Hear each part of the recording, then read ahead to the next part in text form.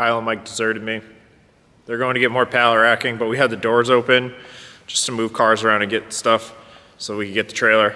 And it's snowing in Michigan, and it's October 18th, which is probably a record, which is probably not a record.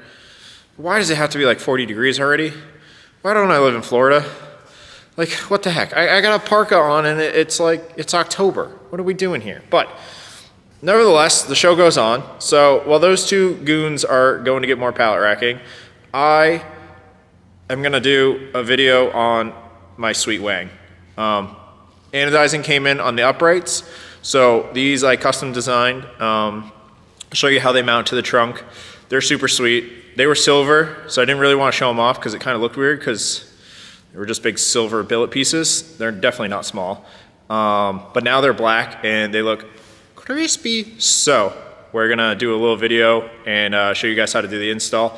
I made a few sets. Uh, I already sold some to some boys. But um, yeah, it's not for street cars. This is a race car wing. Um, definitely requires some modifications to get it to be chassis mounted and still look nice, but that's what we're gonna show you. So let's take a look. So we have an AJ Hartman Goose Swan Neck style, however you wanna call it, 72 inch. This thing is rowdy, let me tell you. Um, this is basically the biggest I could get within the rules for grid life. For street mod, I have to stay within the body limits, um, just in terms of width. So this was as wide as I could go. Um, and then these are the uprights I made. So it's a two-piece design. This bottom piece uh, mounts to where your stock trunk latches mount. Latches is the wrong word the hinges for the four link mechanism, when you open the trunk, it bolts to those. So it is chassis mounted. Uh, that's technically mounted to the quarter panel and the body. So it's super structural. I run a carbon fiber trunk. So I had the little wing before, the GT4 wing. Super sweet. Honestly, loved it from a visual perspective. Did it make downforce? Questionable. Not enough to like do damage to the like carbon trunk, which definitely is not built to withstand hundreds of foot-pounds of downforce. So, right, like it probably, it could have made 60, 80 pounds you know, of downforce. Super sweet. I mean, you're buying a GT4 because it's a visual upgrade, um, not because you're like, I need to bang out lap times. So, keeping the carbon trunk, that was a must. I love the duckbill. Um, this is a CSL style trunk. So it is um, exposed carbon on the bottom, and then it was painted sapphire black metallic. Um, back when the car was black, and now it is black and orange and 35 different tones because that's just where the car ends up. But back to these. So anodizing came out sick. You can still see the machine marks versus like where it's almost this rough looking texture. It's not actually rough, but um, the material was tumbled before it was uh, CNC'd, so it just has this sweet, like black two-tone look to it. And I love that you can still see the machining swirls in it. It just really gives it a sweet look, some depth to it. Um, thought about doing like the cutout style. If we look at Mike's real quick, like you can see how you just go all the way through. And I think this looks way better on a standard mount wing. If you have a bottom mount wing, I love the open look. It's super sweet. When you go to a swan neck style and it has to be a much larger piece that comes up and goes back over, I don't think it looks as cool with the cutouts. I think that keeping it a big black piece of aluminum and then just having these machine bevels looks way cooler. Everyone, to each their own. These are mine. You can't have them. They're sweet. Well, technically you can. I guess you could just buy them. But all right, let's uh, slap this thing on. It's been looking a little nude just not having it up there. I got so used to having the big wing that now that the car's just been sitting getting some other upgrades, stay tuned in the next video for that. I'm putting the Ford 888 back in. I wanted some gear ratio changes with the 8HP, but so that'll be the next video. But yeah, let's get this wing on. Let's show you how this is mounted.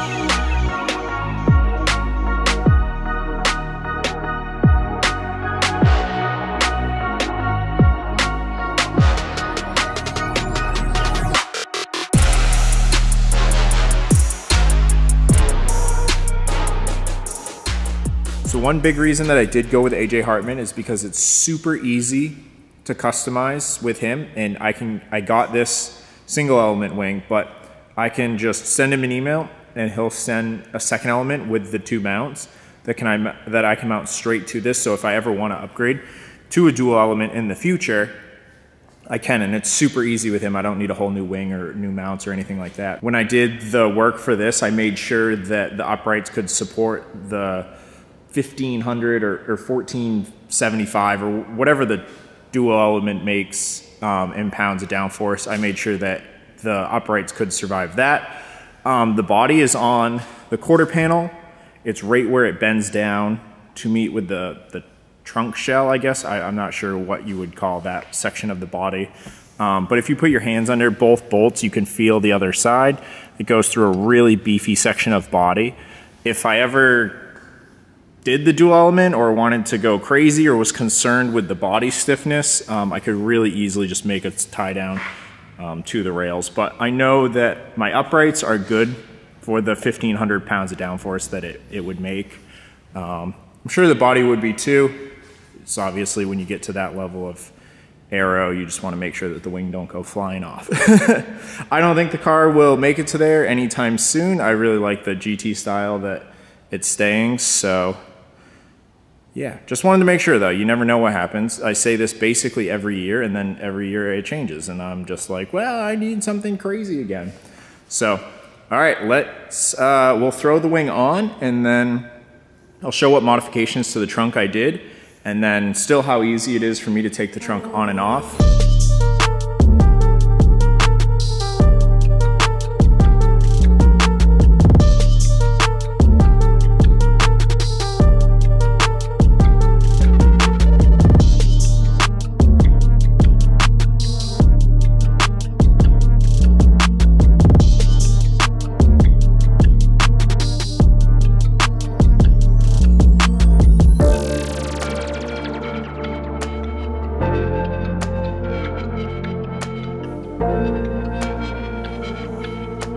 Oh, black looks so great. Oh yeah.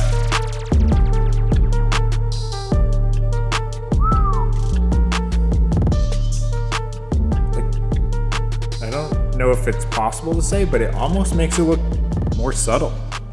It's not as crazy. Maybe because the trunk's not there, but...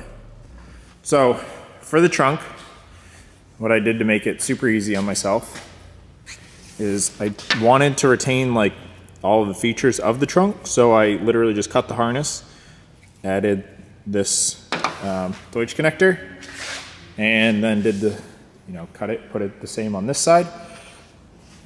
And then I had to add two pins at the top. So I added the two pins, um, that retains the front part of the trunk, and I kept the OEM locking mechanism, I guess you could say, latch mechanism, um, for the third mount at the bottom. So Trunk's still mounted in three places. Um, it's super easy for me. I still can use my key or the button in the vehicle to pop the bottom one, and then I just simply push the two push pins, and she pops out.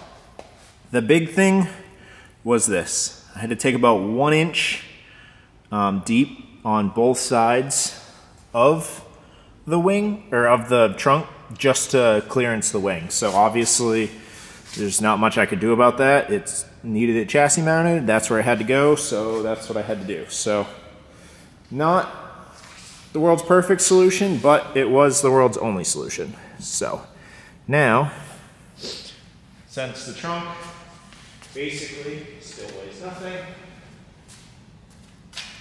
I just take it and slide it through. Drop it down usually on this side. I'm not gonna actually latch it because all the battery's right there and it's not disconnected, but you get the point. Push, push, push. Definitely not scared. We're gonna take two. There we go. Push, push. It's connected. Um, now I, I would just crank down. We're gonna leave it loose. I don't feel like climbing through the cage. But that's it. That's throw this table out of the way. that is it.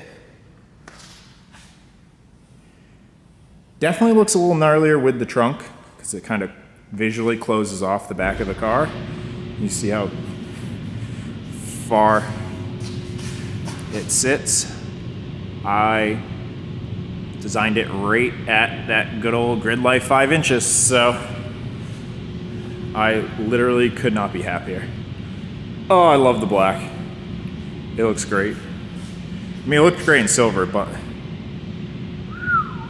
damn. All right, guys, that is a big wang.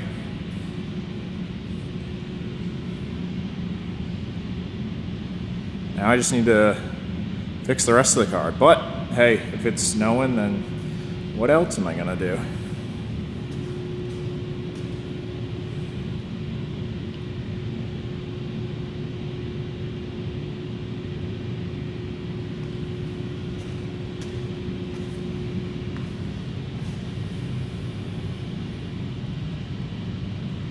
Gnarly.